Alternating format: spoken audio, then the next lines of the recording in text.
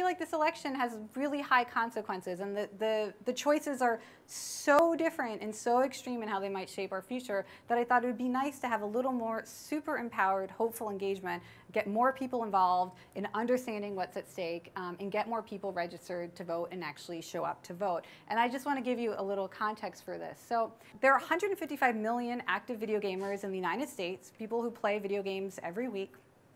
There are 110 million people who will vote in the presidential election. That's not okay. Um, there are 30 million people still in the United States playing Pokemon Go every single day. And there are 30 million people who will cast the votes in the battleground states or the swing states that decide this election. Anyone can play the first game. Anyone can play Pokemon Go. But how do I get to play the game that's being played in the swing states? Because I live in California.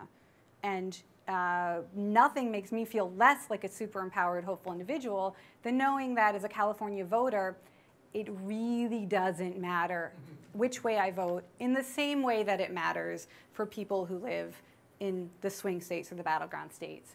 So I feel like there are a lot of people like me who want to figure out how to play that other game.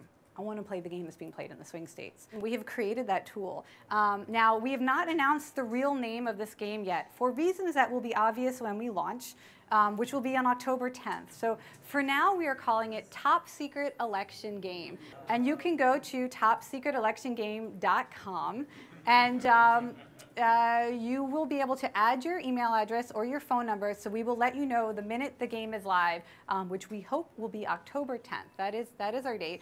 Um, and the premise of this game is your social network is full of swing voters. We're going to show you how to find them and influence them.